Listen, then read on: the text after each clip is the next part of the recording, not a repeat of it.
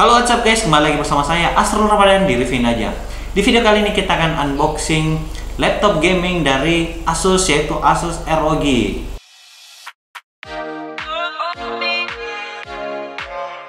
Nah, laptop ROG yang kita unboxing yaitu ROG 504G dan ini dia laptopnya. Nah, ini dia laptopnya. Besar sekali guys.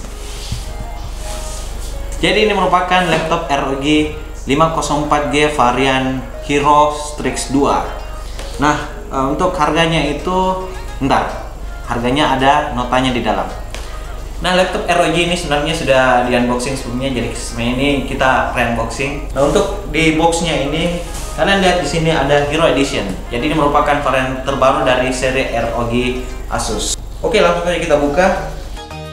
Nah, ini dia guys, untuk notanya untuk ROG Hero Strix 2 ini itu harganya sekitar 27.500 nah untuk uh, ROG varian ini yaitu yang varian keduanya yaitu 256 GB untuk SSD nya oke langsung saja kita buka.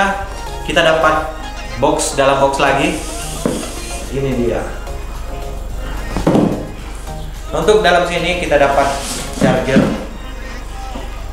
seperti biasa chargernya Asus.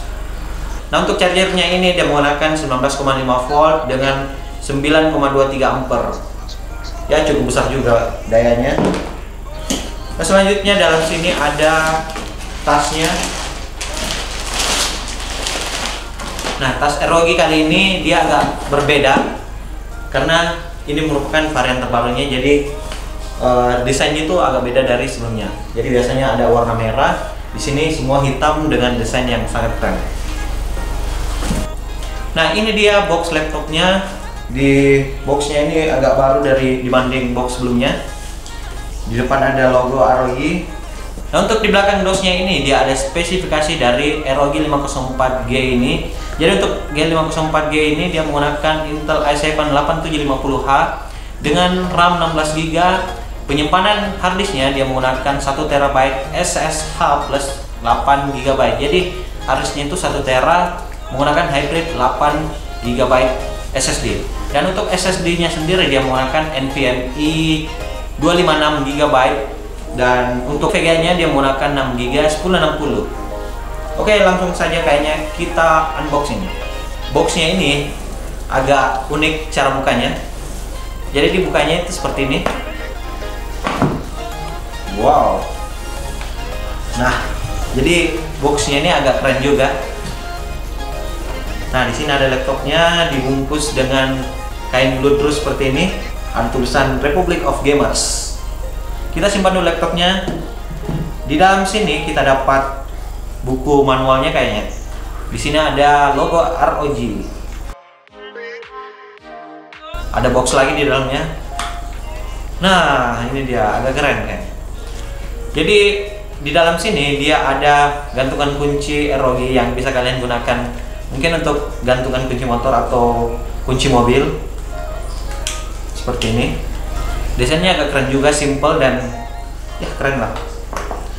Selanjutnya ada buku. Manual booknya. Ada dua dan mungkin ini satu waranti cardnya ya betul. Nah selanjutnya di dalam sini tidak ada apa-apa lagi guys. Jadi sudah kosong sepertinya jadi walau dusnya banyak sekali, tapi dalamnya itu sangat sedikit. Nah ini dia laptopnya.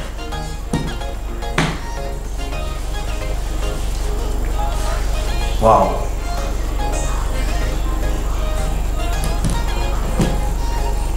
Oke ini dia laptop ROG 504G Hero Edition.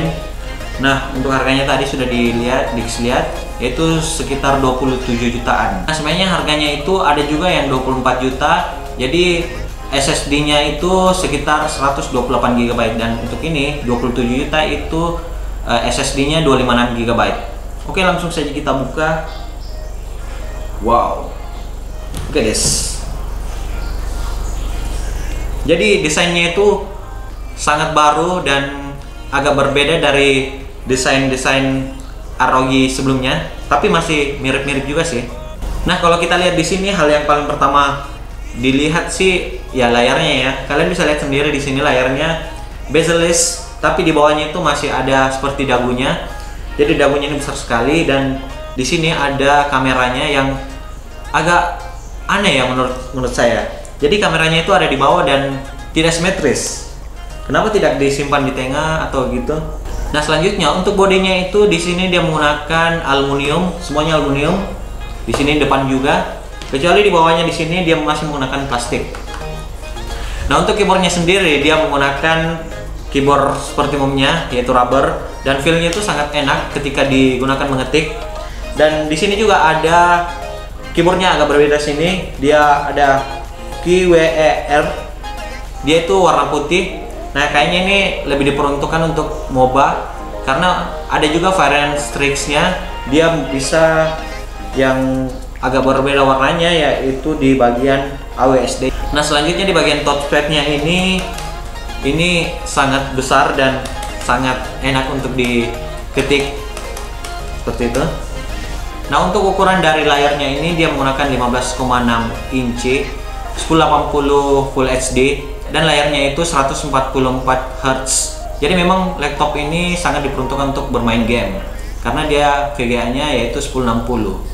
Nah selanjutnya untuk port-port dari laptop ini, di sini dia menggunakan uh, USB 3.1 sebanyak tiga buah, jadi super speed. Dan ada Type C juga satu buah, jadi USB-nya ada empat. Dan di sini ada HDMI juga untuk display, juga ada mini display port.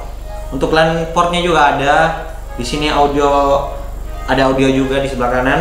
Nah untuk di sebelah kanannya sini dia ada grill untuk exhaustnya. Juga ada USB yang tadi udah dibilang. Dan juga ada port micro SD cardnya. Jadi kita bisa menggunakan SD card di sini. Nah untuk di bagian belakang dia juga ada exhaust grill exhaustnya.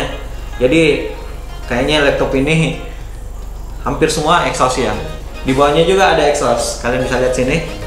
Exhaust untuk uh, mengeluarkan panas dari laptop ini. Nah untuk di bawah laptopnya itu dia tidak ada backdoor untuk upgrade-nya. Jadi kalau mau upgrade harus semuanya dibuka. Lalu kita bisa upgrade speknya.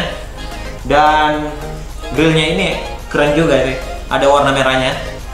Oke kembali kita lihat di bagian dalam sini. Di sini ada grill speakernya.